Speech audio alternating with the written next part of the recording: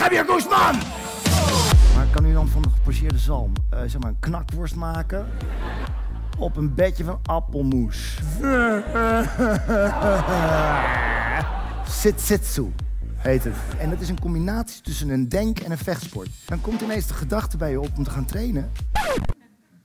En daar vecht je dan tegen.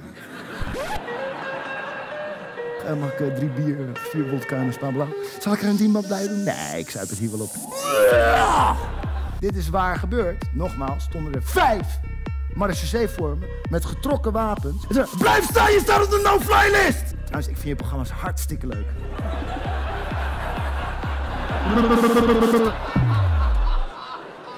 Je moet een boot bouwen. Je moet, er moeten allemaal dieren op, hè. God komt uit Twente, dat weet heel weinig. Ja. Ja, weet je, ik vond het zelf ook de beste. Ehm